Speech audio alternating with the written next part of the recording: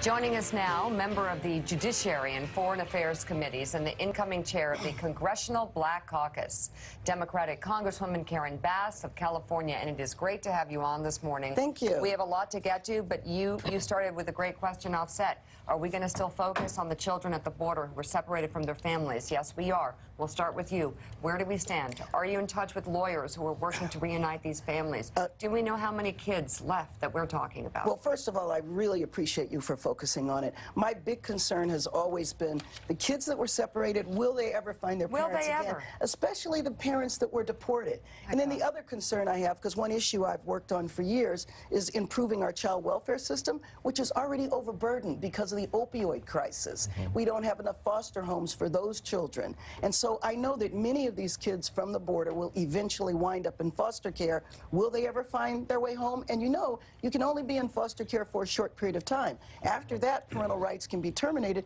These kids could be adopted and never find their families. Well, and the again. hypocrisy of, of Donald Trump, of all people, uh, suddenly taking a tough line on illegal immigration. There's a story in the New York Times talking about a woman who cleaned his rooms, Exactly. changed the sheets on his bed, fluffed his pillows, dusted his room. Exactly. Not only did she work for Donald Trump uh, and, and clean up for his family, uh, but also people that worked in the Trump organization helped her evade authorities. She so said she, was stay honest the about country. it. She, she Wow. said she was undocumented. And so he goes right. from benefiting and profiting from illegal immigrants to suddenly deciding to be the hanging them judge, away. to That's right. separate children from their parents. And you know, the other thing I'm really concerned about are the teenagers that are in these tents Oh, because you know that they've had they had to ramp up so fast. They didn't do background checks on the staff that are working there. And so there have already been cases of molestation and abuse, and you can only imagine that that's going to continue. This continues. This is still happening right now. Exactly. For people who thinks it's over and they've been fixed because they stopped the policy,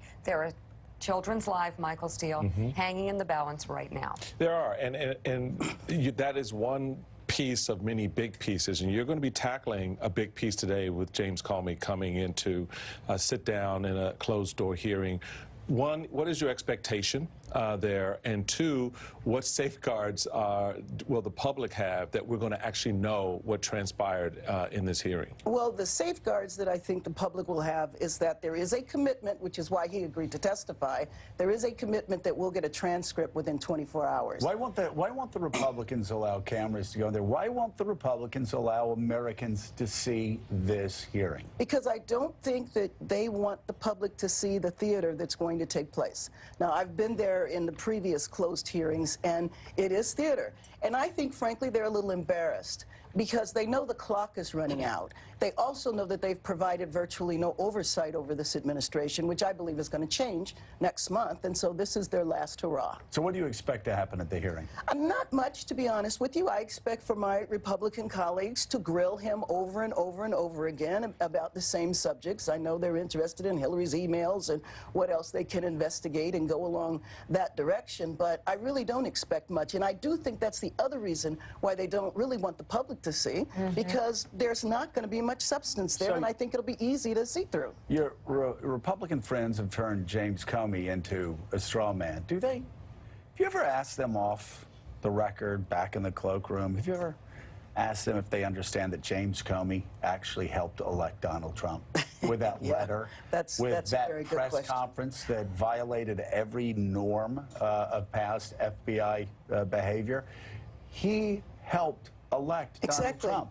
Exactly. No, you know what? I haven't asked them specifically that, but I will tell you, and, and I know you know this. When you talk to them off the record, many of his tweets, many of his positions, they're embarrassed by, and also they feel unstable because they don't know what direction he's going to go in. Did he at ever finish his time. tweet this morning? I mean, he left it with a dot, dot, dot. Sure, there's More to There's come. more to And a come. bye, bye, bye.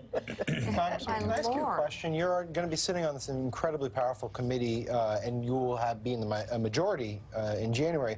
There's so much that you could theoretically look into, but there's only so much bandwidth that a committee has. Right.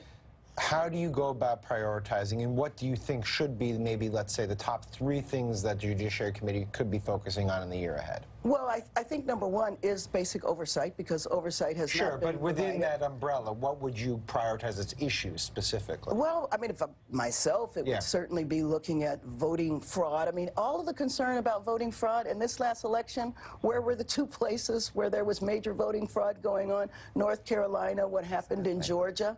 Uh, restoration of the Voting Rights Act is certainly something that is very high on our agenda.